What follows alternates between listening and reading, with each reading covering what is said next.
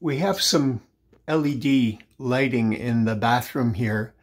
The main ceiling light is the thing that gives us most of the light in our room.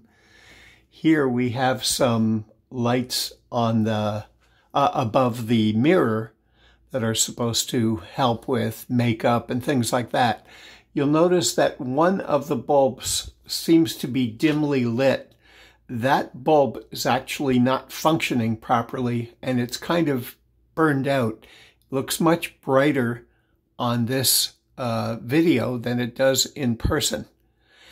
The weird part is this bulb is burned out and the only reason the others aren't showing is because I've unscrewed them so that you can see specifically how this one looks.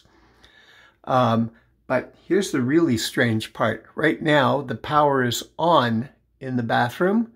I'm going to turn the power off right now. You can see the light is still on until now.